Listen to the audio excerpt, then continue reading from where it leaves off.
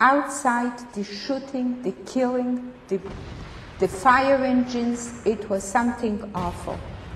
Until night, it got quiet, it got dark, and we could hear everybody moving out of the area. They, they had three gardens, and one little garden still stands there. And my father planted the trees, and the apples are still growing on these trees. And I was standing in front of that fence, and I froze to the ground.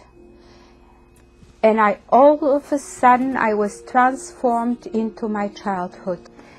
And I saw it vividly. I saw myself, I was running and laughing, and I was happy, and I was skipping rope and dancing, and my cousins and my brother and my grandparents, I could smell the fish and the challah, and I could hear my, my uncles and my aunts, and I could see the weddings and the funerals and the birds, and everything came back to me and I just couldn't move from that ground.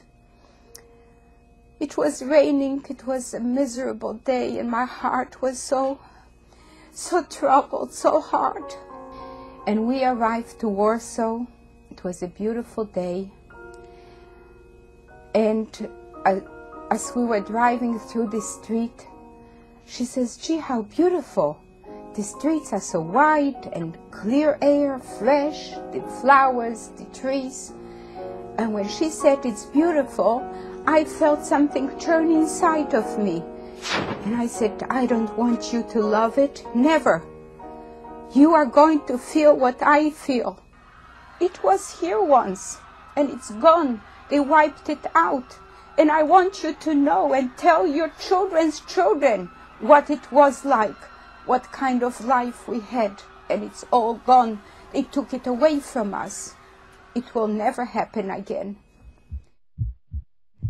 But I decided that since that time that I came back from Poland, that this story is history, and I don't want that it should die together with me.